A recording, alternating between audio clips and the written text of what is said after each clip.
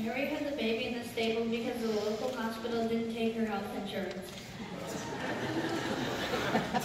Animals gathered around the baby, and everyone knew right away how special he was.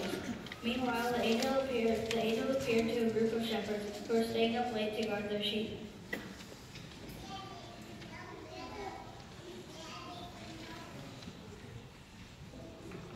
Hail shepherds, God is with them. Wow, what does that be called the Son of God and Prince of Peace.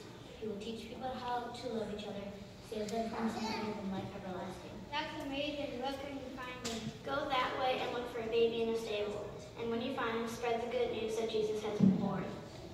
And suddenly the angel was joined by a whole bunch of angels, and they started singing.